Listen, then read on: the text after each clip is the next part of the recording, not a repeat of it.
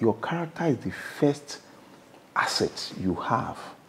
Your reputation is the first asset you have as an entrepreneur. A lot of young people don't have it. So when they tell you, when the moment your money parts from your hand and gets to their hand, they start remembering that you are their uncle. True. They start believing that you have the SS. But then, how many banks would you take their money and not repay back? And they'll give you back money another time. Hey guys, welcome to How They Did It with Tricia Biz, a show that takes you behind the scenes of successful African entrepreneurs, change makers, and creators, showing you the journeys that led to their success. This episode is sponsored by Traction Apps, the growth partner for your business. Nigeria has a budding population of over 200 million people. So one key industry that is significant for all of us is housing industry. And today I am live in Victoria Nest 3, one of the properties by the Nedcom Oak Group.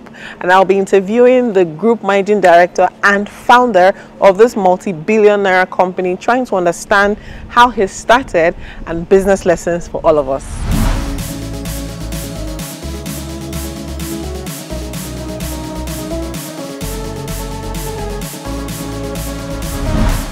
Okay, so we are live in another episode of How They Did It, and I have the honor of having with me Africa's biggest real estate mogul, aka founder and present GMD of Nedcom Oaks, Dr. Kennedy Okonkwo. Thank you very much. Nice to have you here, sir. Thank you. Fantastic. Okay, so I've read a couple of articles about you. I have watched interviews, etc. And there's something that always stands out, you know, where you say growing up was hard, you know, but despite all of that, you turned out pretty well. You know, we see all the exploits that your company is undertaking in the market. How hard was hard? Okay, um, growing up was remarkably very, very hard. Very hard in terms of, um, let me take it from education. I attended a public school, I attended Ladilak Primary School, and um, in a time when if your parents become a little bit wealthy, you if your parents were a little bit wealthier, you would not be in the public school. So I attended a public school, um, and uh, it was tough for my parents to be able to provide as small as textbooks, you know, for you to have them um, while attending school. So it was quite tough for us. Um, my dad used to go to the National Sports Commission then Okay. to wash tanks. You know, when he gets those contracts to wash tanks, you know, to clean, he was a cleaner then. You know, you go clean tanks. Just imagine somebody that used to be an army officer, retired, you know, and then he needs to wash tanks to be able to buy school books hmm. for his kids. So how hard could it have been? So when you get to eat chicken or turkey, you know that it's actually a festive season. You know that it's actually like Christmas, you know, or maybe Easter, and they are not guaranteed. So it was quite hard. And uh, by the time we moved on to Ikeja, the first glimmer of hope that we had was when my elder sister got married. And get when my elder sister got married, um, her husband opened a store, a rest, you know, a store for my mom, Okay. a canteen where she was um, selling food in the Keja. And at some point in our life, that became our home. And so um, from then on, by the time my dad died and we lost the place that is supposedly home for us, which was the shop, you know, shop. So you were living in the shop? We were living in the shop, shop daytime and um, bedroom nighttime. And so you you can't have the luxury of having a foam to yourself or having a bed to yourself. It was just all of us practically sleeping, some lying as much as low as underneath what is supposed to be the table in mm. the shop, In the shop. being where you sleep. And then on to when we lost that space and had to be under the Ikeja Bridge for some time, But you know, the luck I had as a person was that afterwards, um, someone gave me um, a glimmer of hope. He gave me the opportunity to live in his home, Okay. and from then on, a lot changed for me because the moment you put someone under a good roof, his vision begins to change. And that's why I'm very passionate about the housing sector, the real estate sector in Nigeria because the quality of dreams and aspiration you have is determined by the kind of roof you have over your head. If the rain is beating you every day where you're sleeping, if you just imagine what it looks like to be one of those whose home is ravaged by flood. And so when they need to get into their bedroom, they need to, you know, step their foot into water to have a table that serves as bed, you know, for the night. And so what kind of dream would such people have? What were your dreams when you were sleeping under the bridge? uh, do I have dreams? My, you know, it was more like survival because you wanted to wake up the next day hoping that things could turn out a lot better. Better you than know. that and day. the truth is, there's so little you could do. You, you see, um, the opportunity my cousin gave me, you know, um, to go to school changed a whole lot about my life because first and foremost, I have a good roof over my head. And then with that roof over my head, I begin to have better dreams. Don't forget, my cousin is a lawyer, you know, he's a businessman. He was busy attending board meetings here and there, you know, of companies that he belonged to, companies that he had stake in. So I began to see myself that if only I can work a little bit harder, all of my past can become erased mm. by my own efforts. And so I began to see myself as the man who can change his story if I do better. So my dreams began to change. So I began to visualize myself in a better place. Don't forget, I wasn't alone. You know, we had like 14 of us living with this man. 14. Yes. So you Oh, know, wow. So he he, uh, I knew that if I do very very well, I'll have the opportunity to go to the university, Hmm. and if I go to the university, you know, I will not end up like everybody who expected him to support them one way or the other with money for food, money for for for whatever needs they have. Hmm. Some of us ended up going to the university. Some of us ended up trading.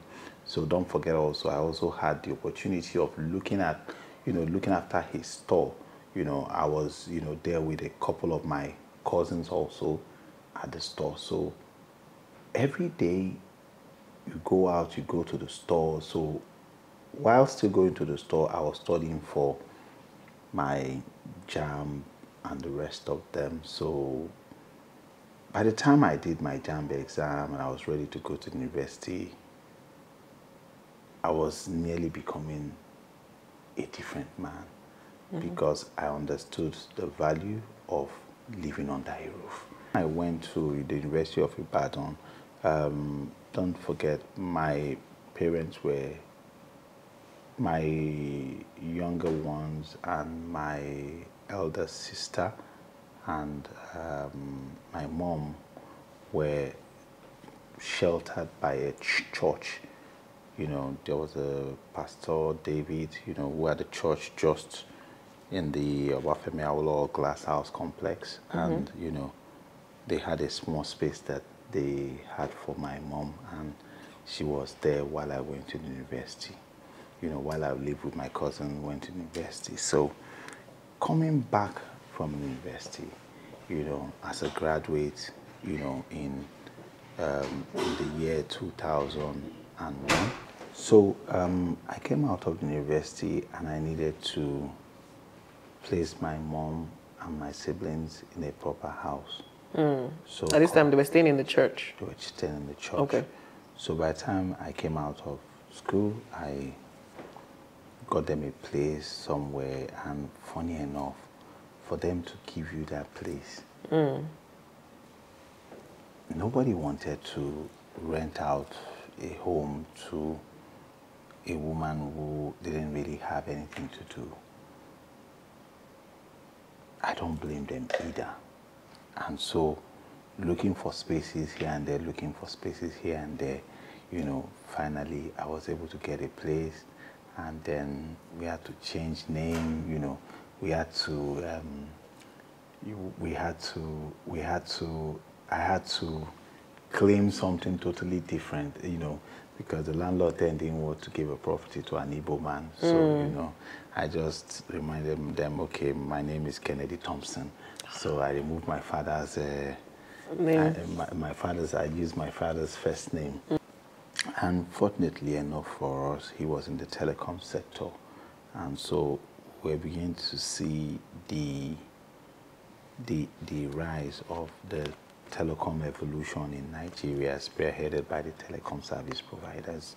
So in that space, I was one of those who could configure wireless internet for your telephone. And because the company you know was providing prepaid calling card services we're also distributing phones fixed wireless telephone for the different operators we had in Nigeria then. It was an mm. industry on its own and it was booming quite well. That was before the advent of the GSMs so I worked a bit with my cousin. I was doing marketing you know um, for him.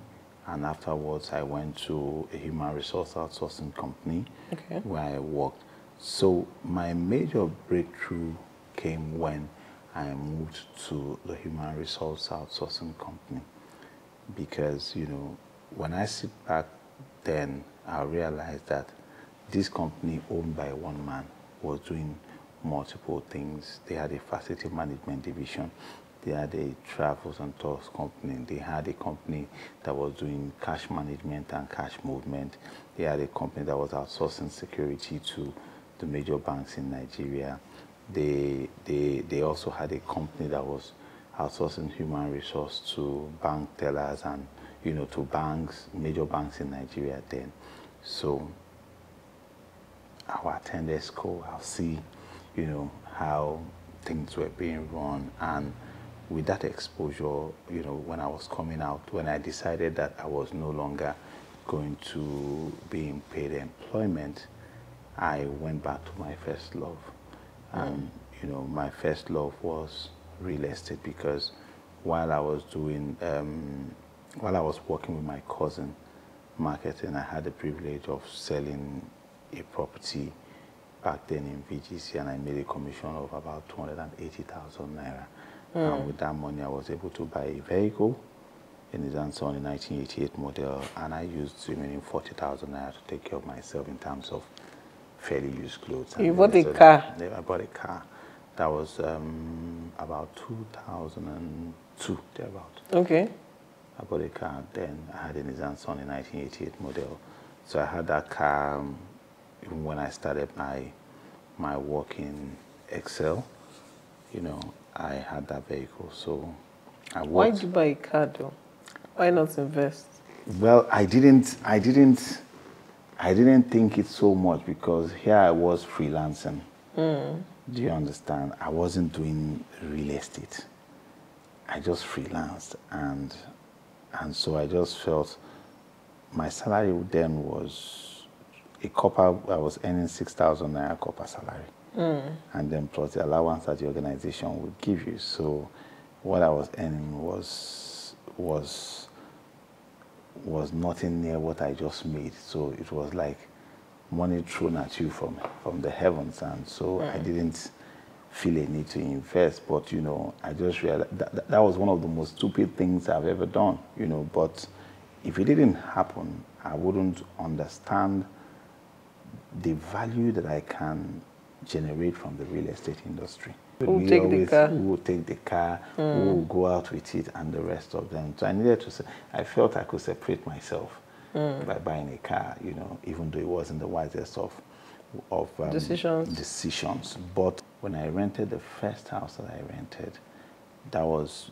within the Oniru property, um, Oniru you know, the Oniru chieftaincy family had this land that they shared, small, small plots of land for their family members.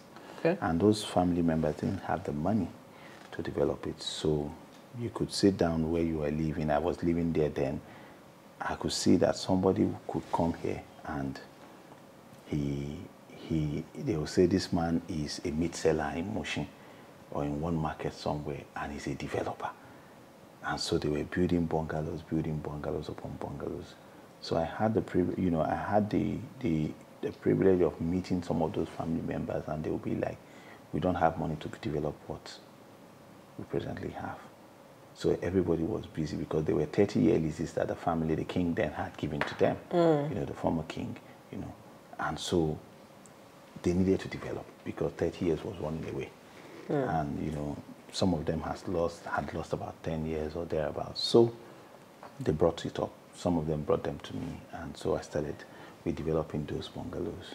Where did you get money to for your first Very bungalow questions. development? So typically what we were doing then was I'll go back to my colleagues at work and reach out to them, friends and family. Can I raise 500,000 from you? By this time my salary was slightly below 80,000 naira. So I'll tell you, can I raise 500,000 naira from you? Mm. By the time I get two, three people, I'll tell them what the offer was for them. And so when they raise that money, we're able to go to site and I give them interest Okay. ridiculous interest for what we were developing. And because I would take them to the site and I already had the agreements in hand, when I take them to the site, they'll be like, okay, is this what you want to do? Okay, we'll give you this money. When would you give me? Here you are, you had young people who were working in Victoria Island and they wanted a place to call home, you know, not too far away From their place of work. from their place of work. Hmm. So you find them looking for somewhere very, very close by. And so that's where all of us live. And the funny part is a lot of, you know, top celebrities that everybody knows today used to live in that place. You know, Nobuligwe was there back in the day, the days of Maumi, um, Joseph, you know, a lot of people, you know, uh, even Timi. Dakolo, you know, all of us were practically in that environment. So that's where we started the journey. So we did our first set of bungalows there. We rented out. So from from borrowing to build, I started reselling when I realized I needed to move to the next level. I resold some of the leases that I had. So if a room parlor self-contained was renting at 550, 600,000 naira, and I have 10 year lease or 12 year lease out oh, yeah. of that property. Hmm. So I, I needed to, you know, give you an offer that will make it irresistible for you. If Tricia had a good job and was living in this area, I would just approach Tricia and say, Tricia, I have 12 years lease on the apartment Tricia is staying.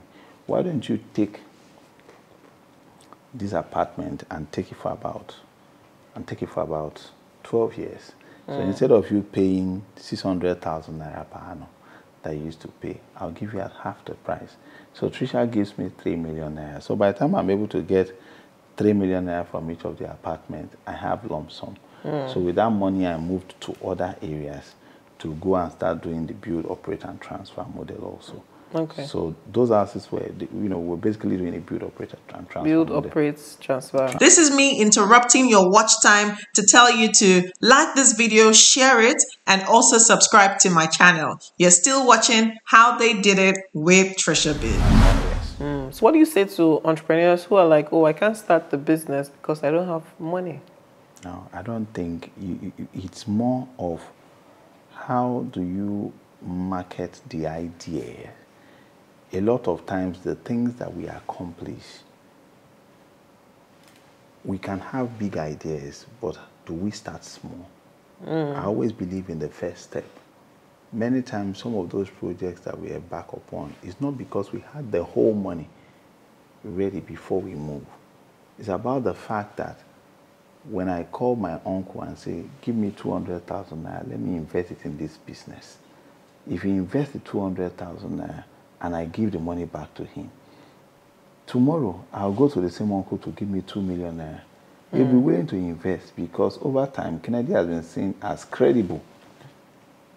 A lot of problems, I, I, the, the number of young entrepreneurs who collect money from people and don't bother returning it.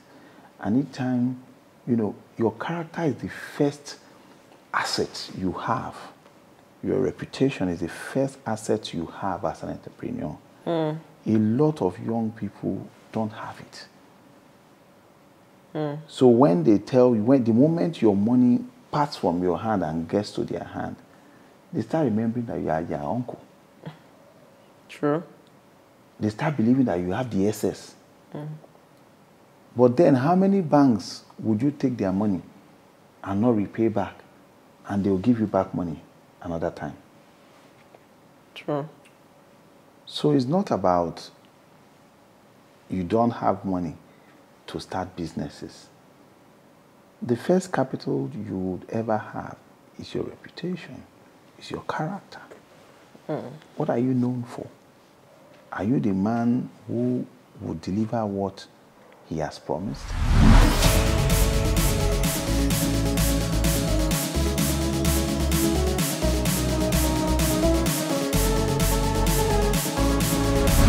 Okay, so you break into real estate, you know, you do the Oniru self-contains. And how did you then move from Oniru to where the company is now, where you've built thousands of units scattered around Lagos? Okay, so um, ordinarily, I may not have moved very fast um, when we did the Oniru if um, certain things didn't happen. Okay. You know, I was, by the time we did the Oniru project, we were beginning to enjoy commissions that we were making from rentals that we were doing. And, you know, my company back then, while still in paid employment, I was earning a lot of um, brokerage fees, Okay. closing out deals, you know, big deals. You want to let out your property, you reach out to me, you know, with the network that we had, we were getting corporate clientels. But we made the first mistake again, and that mistake was not understanding the title. So when we bought a land somewhere in Sangotedo, and that land that we bought in Sangotedo, um, so the land that we bought in Sangotedo, we didn't know that they had flown the coordinates of the land in question. So the title they showed us as title, by the time we were doing the charting and the rest of them, by the time we were sending our documentation in, the land in question didn't have a title. So, you know, uh, what did we have to do? We needed to sell the property as it is. And so we started breaking the land and we were selling. But first, we enhanced value for those locations. We had done a beautiful design of bungalows that we wanted to build. You know, some people had even paid deposit, and so everybody started backing out that they wanted their money back. And time was about 2008, 2009, when in the thick of the global uh, economic recession, the crisis. So we said, okay, if this is where we are at, what do we do? So we picked the houses, the land, and dissected it, laid it out, enhanced the environment, provided security in the environment, gated the area, provided CCTV cameras for the streets, mm. sand-filled the road, did drainage, and so we now started selling because we also had people we had borrowed from and we needed to pay back their money. So we started parcellating and selling those land at nearly twice what we bought it because of those improvements that we had done. So we started selling from the fringes. So from the ones we were selling for about 5 million naira, we closed selling some of those property for about 12 million. Don't forget the lands we had bought for about 1.8, 2.5 million naira. So that was how we were able to pay our debts. By the time we paid our debt there, we moved further down. We came back to Chevron, and you know, at Chevron, we were able to get people who could say, okay, give us land. If you give me two plots of land, when I develop on two plots, I will pay you by four five months period of time. You know, so you now started marketing. The initial project that we were supposed to do was supposed to be on six on six units in two plots of land. So we parcellated the land into two. We divided it. we started the first three units. We didn't even have the money to finish it, to build it. But there was a land that we had, a property we had sold for someone. And by the time the landlord started quarreling with the man that, okay, he has gotten another man who will pay and refund it. So he refunded back the client. And the client told me, Kennedy, you must give me a house because you're the one who took me to the landlord. Mm. And don't forget, the part commission the landlord had actually paid me, the landlord insisted on taking back. So, wow. and here was I in the middle. I didn't want trouble and the rest of them. So I approached a particular um, man and said, if you can give me these two plots of land, I have some money, I'll make payment for deposit. So the money the man had refunded towards them was about 15 million naira.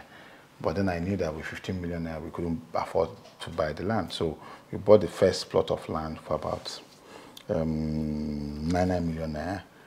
So we bought the first plot of land, we paid deposit, and we designed, we started construction of the first three.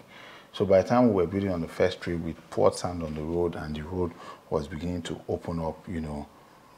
Another man approached us that, oh, he's interested in buying the remaining plots.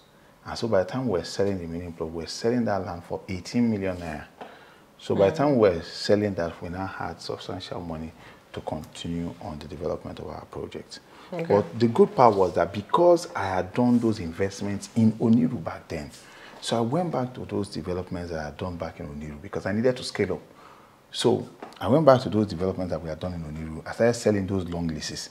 By then, you know, the, the, the value of the long leases had increased because I was comfortable as a young man. I had a cash flow.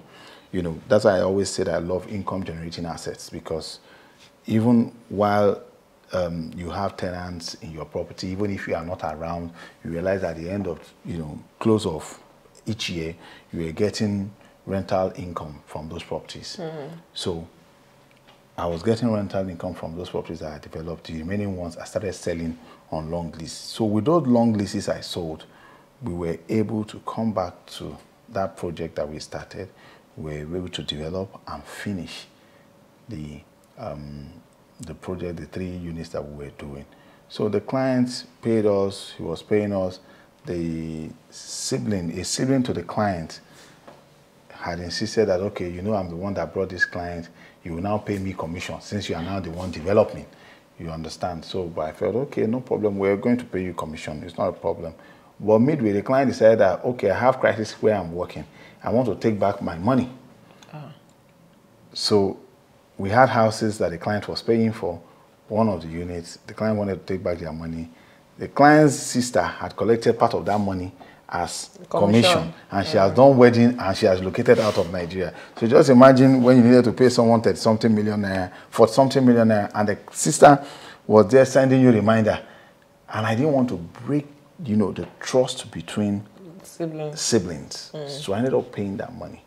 So by the time we finished paying that money, the good part was that we got somebody else who bought the property at a very increased amount, and we did that. So from doing that first one, we did the second one. And then something happened at a particular point in time. There was this dichotomy between, you know, they had an area that was developing, you know, mm-hmm. on the Chevron axis. One estate was developing, and then we had another estate that was not as rapidly developing as the other one. So the one that was developing rapidly, land was being sold for about 40 million naira. The one that was developing at a slower pace land was being sold for about 8 million naira. Wow. So now the difference between the one that is developing and the one that is developing rapidly and the one that was not developing so rapidly, the distance is less than 100 meters. No, that's so close. So close. Mm. So I noticed that and I said to myself, hmm, something is happening here. And everybody wanted to the moment you are pricing the land, if you say 30, another person will tell you 35. If you say 35, another person, the landlord will tell you somebody is offering me 40 million naira. Mm. So I said, okay, the reason why this is happening is because everybody knows, has you know, discovered this place as the developed area that there's a huge market for people to come and buy, build, and sell here. So why don't we go and create an untapped, a virgin market? And so rather than me sitting down to focus on where everybody was rushing to, I understand that in real estate, for you to remain relevant, you must be yards away from your competitors. You must, in your thoughts, look for locations that you can create a market out of. Mm. And the philosophy then for me was that if I can go there and build six houses together, it has become a community on mm. its own. So if I can go to a street that is totally deserted, if I can go and develop six houses there, mm -hmm. I will create a community of its own. So we went to that area and we started acquiring land in that area. And by the time we were acquiring land in those areas, people were wondering, now, ah, why is this man, every land that comes, he will buy, every land he will, buy.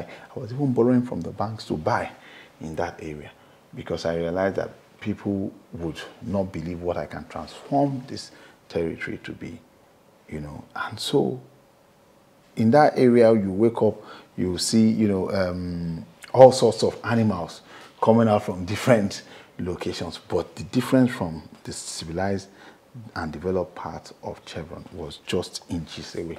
Mm. And so gradually, by the time I did the road infrastructure in those areas, those land that we bought for 9 million, 10 million, 7 million became what started selling for nearly 35 million naira. Mm. So people began to say, no, there's no difference between this area and, and the next area. area.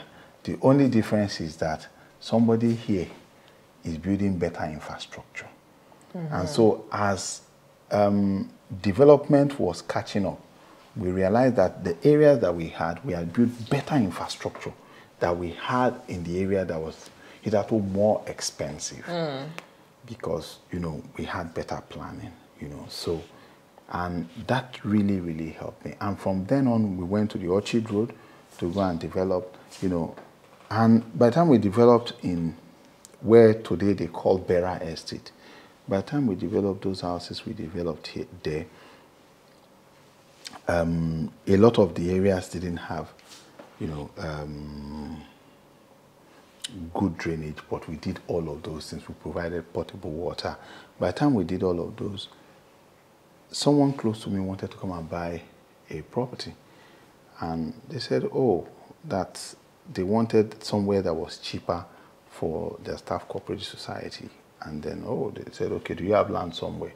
And I remember that we had one land in Orchid Road, and we took them there and said, mm, it's far. I said, don't worry. If I can develop this area and it becomes what it becomes, we can also transform this area. And so we went there and we started our first set of projects. And so people came and told me, oh, every developer that has developed in this area, they end up going broke they end up having crisis. They end up borrowing from the bank. They're unable to pay. Mm. So are you sure you want to go and develop in that area? I said, well, I'll go. So, and I went. And by the time we developed the first set of projects, we developed the first set of projects, you know, we did not make profit. We did not even break even. Mm. So, but for me, what I take away from that project was that if people had paid for properties at 21.5 million, 21 million, and they have paid me in full. And the price of construction materials has increased radically. What must have cost all of this? And so I realized the mistakes that I made. And good enough at that particular point, I went back and picked offer letters from the people we had, the companies that we had lent real estate from. Mm. I tried to study their offer letter and see why did this company end up folding? If a company was doing very, very well, because in our part of the world, you realize that real estate companies don't even last five years. Mm -hmm. I used to think it was 10 years, but I've come to realize that it's not five years. To see five years is tough. You see the company doing very, very well, and after five years, six years, seven years, you realize that the company is no more. Mm. People have paid money, they don't find their property. So I started asking myself, what must have been the problem why everybody who is doing real estate, the moment you scale up, scale up, and the, the, uh, uh, and, the, and, and the problem lies in the fact that as you begin to scale up, everybody who is around you is trying to create a whole that can, they can benefit from. So no matter the kind of structure that you build, you realize that the man who is in charge of inventory mm. is moving materials you realize that everybody, it becomes an all-commerce game. What can they gain from the company? Hold up. I want to share with you a fantastic feature that our sponsors for this episode, Traction Apps, have. By now, if you are a How They Did It loyal fan, I assume that you already have downloaded the app or opened an account on the web platform. So the feature is called the wallet. Now, when you open your Traction app account, you have a wallet where the monies that are paid uh, through your transactions goes to. Now, this wallet is useful for a couple of reasons. Number one, through the wallet, your cashiers, your store attendants can check transaction alerts. So no more having to call you on the phone to confirm if a customer made a payment or a transaction. They can simply open the wallet and see the money coming within seconds. So that reduces anger from customers who have to wait for confirmation. Number two, you can transfer money out to other banks or to your own account in another bank, right? That is where your funds are primarily held. And lastly, you can buy your airtime. Now, the good thing about buying airtime with your Traction wallet is the fact that if you buy airtime, you get 3% cash back. So let's say, for instance, you buy airtime worth 1,000 naira on any of the networks in Nigeria, you get 30 naira cash back.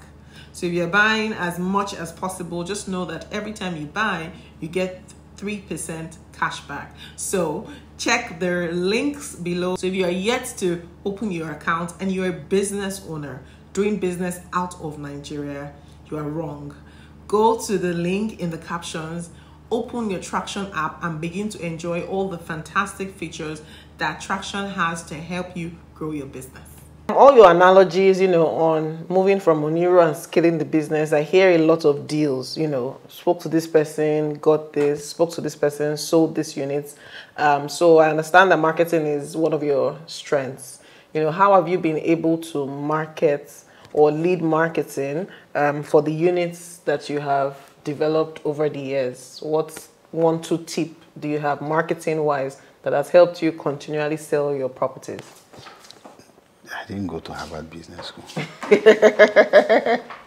so um, it still boils down to what we have done over the years. You know, we get a lot of referral marketing. Okay. Know, we get a lot of referral, and I would always beat my chest to say that if you once rented any of our Victoria Crest projects as a tenant, you will end up, you know, being an advocate or an ambassador of the company, and you most definitely want to buy a unit from us mm. because, you know, the whole experience behind it, you know, when we started the Victoria Crest service, we said we're going to make aspirational living affordable.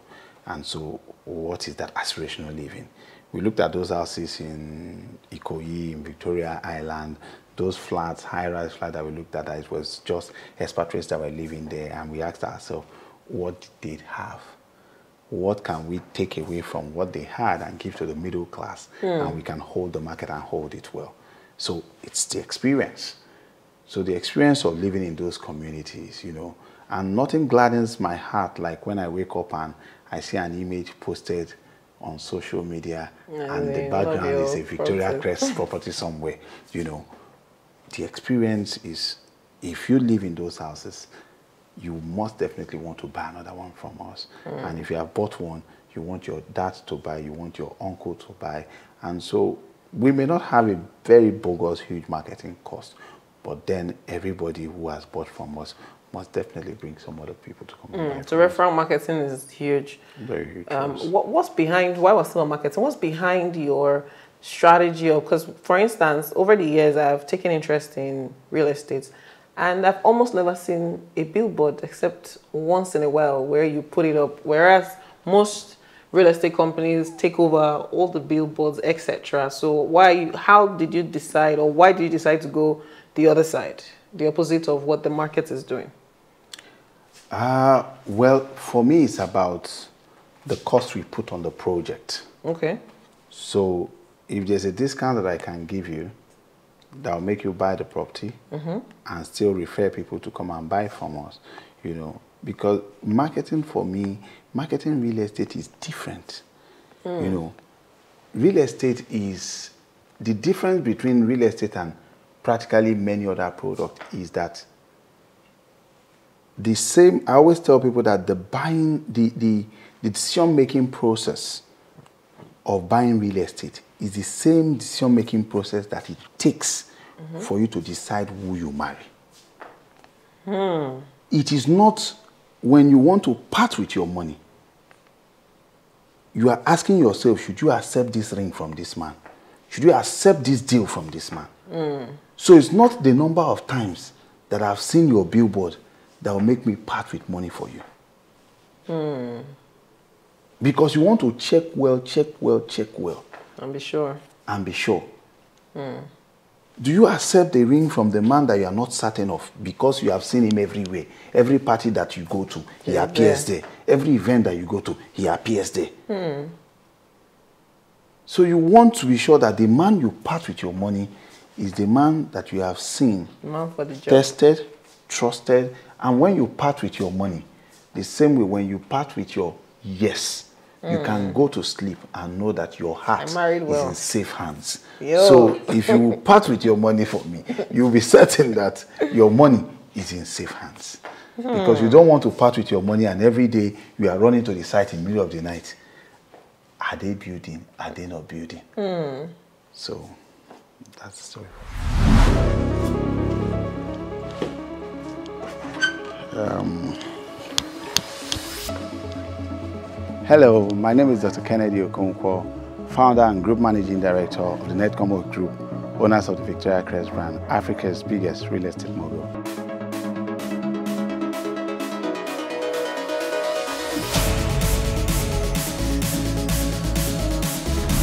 So this is to officially welcome you to the Victoria Crest 5. Thank you, sir. Um, this project is on the new regional road. okay.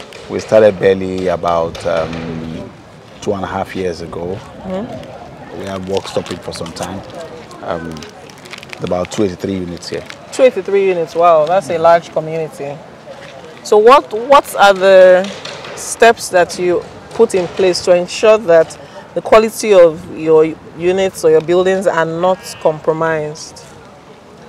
Okay, um, first it has to do with the people. Sorry, we're meant to be walking, right? Okay. First, it has to do with the people. Okay. Um, second, it has to do with the design, and third, it has to do with the quality of um, construction materials that we have utilized.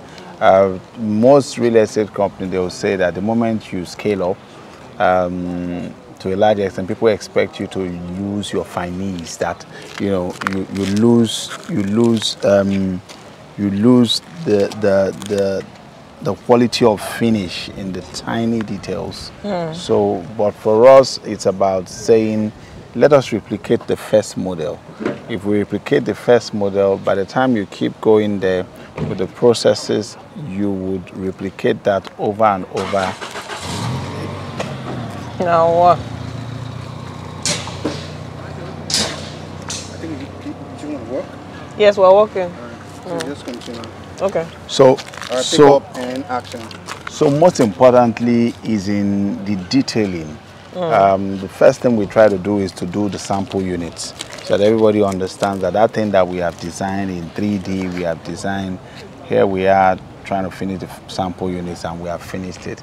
And all of us go back, the team go, the technical team goes back to that unit to appraise it and then look at how functional you know um, our design is. And if there are uh, uh, if there are reasons to tweak little things in um, the areas where you have socket switches or mistakes that may have been made or has, is not really captured during the design we edit with the sample unit you know. Uh, but most times they are just small things that could have been missed out such as sockets positioning switches and then the moment that is detailed we go in to do the other units so it becomes like replicating a particular model that we have done Okay. So there's a lot of structure that is put in place to ensure that um, the units are up to standard. yeah Fantastic. So how are you able to um, get the team to deliver on the vision? Hiring, managing people, whether on site or in the office? What I try to do is to delegate, Okay. outsource, and coordinate the the process that they are running. So um, we are able to deliver based on the kind of team that we have assembled because a lot of times you we don't have quality workmen in this part of the world. Hmm. Because everybody who, who, who, who is very good can as well be a contractor Themselves. doing, you know projects outside themselves. Hmm. And for those who are not uh, contractor themselves the japa syndrome has made it very easy for technical guys to hmm. find job outside. But we also put in place a lot of incentives to keep them motivated and you know keep them for as much as long as they want to stay you know and then um, most importantly we've also tried to um, groom younger ones to um, understudy um, the, the, the seasoned artisans who are working with us, the seasoned engineers who have been working with us so that we don't have a major gap when um, Skill gap. skill you know skill gap when they end up leaving. Leaving. Oh, okay. Um, okay. Interesting. Do you have issues of, um, or how are you able to manage theft? Because theft is an issue with large scale pro- projects, and when there are so many people involved, with the thousands of people you have on your sites. So um, there's no formula that fits all. Um, we, we theft is a major a major major issue on construction site. It's also a function of the insecurity in the country. So um, and for me, security has a lot to do with people, process, and technology. Okay. So People, who are the process, people technology. and technology? So who are the people that you are employing? Um, who are the people uh, people who are manning different positions in your organization? Because a lot of times you realize that for for there to be a theft in the you know in the construction sites, there must be insider coordination. So if you can reduce that to some extent, which we try to do, um, also we make use of technology, CCTV cameras. We also have armed guards during our construction process. Okay. You know, we have armed guards, you know, um, securing our estates, you know. So that way we believe that to some extent we are able to significantly reduce um, Theft. that theft.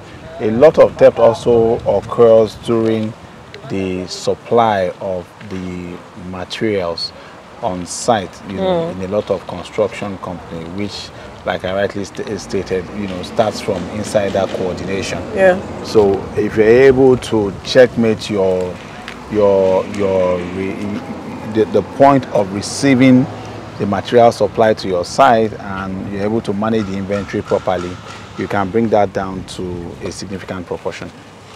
Okay, great. Um, what challenges have you faced through? You've been in, in in real estate for how long now? Over two Ne- decades.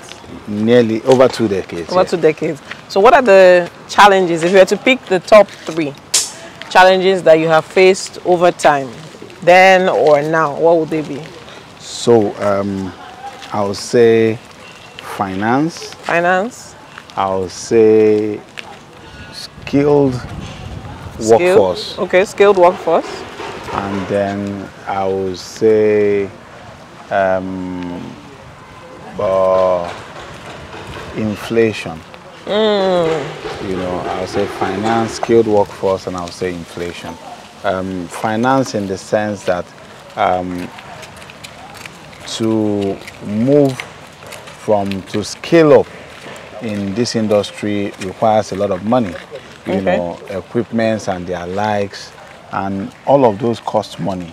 So just imagine that we need to build um, an estate of a hundred units somewhere, and from the point when you started, um, the cost of constructing may have been 30 million naira per unit. By the time you are finishing the project, um, inflation has eroded the co- Margin. the margins we are finishing those projects at nearly 40 or 41 million naira per unit. Wow. So that affects it. Uh, interest rate, we are borrowing at, you know, over 20% in this part of the world.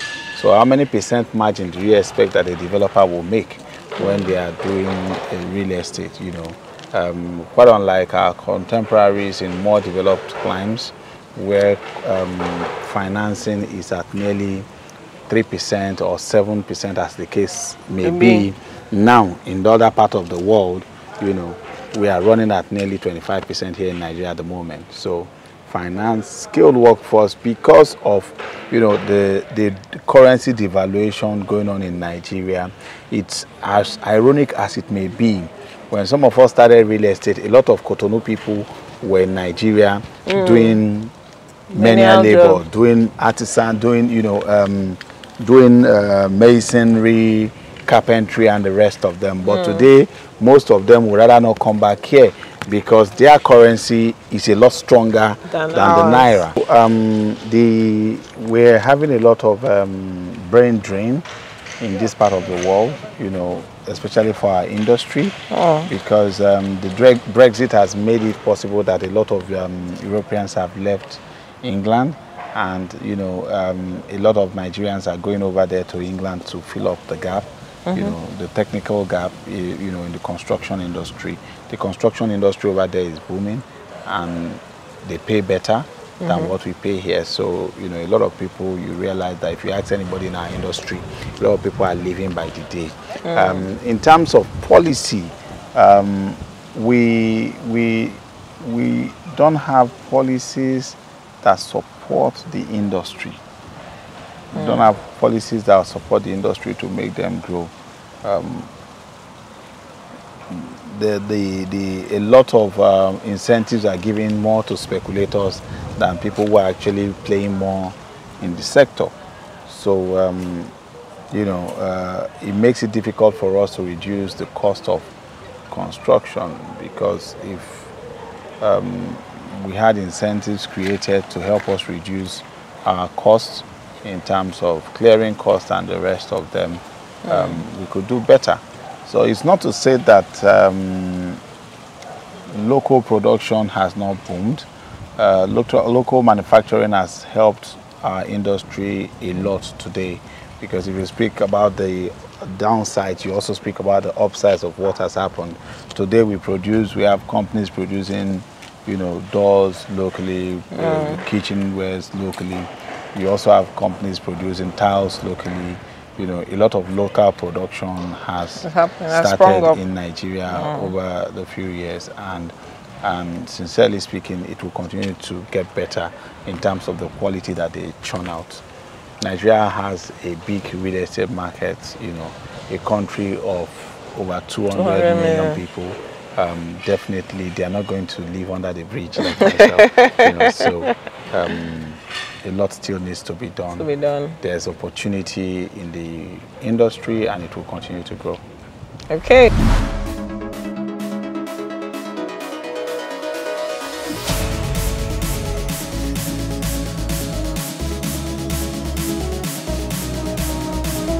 What advice do you have for entrepreneurs, entrepreneurs in general, and then entrepreneurs that are um, going into real estate? So two sets of people.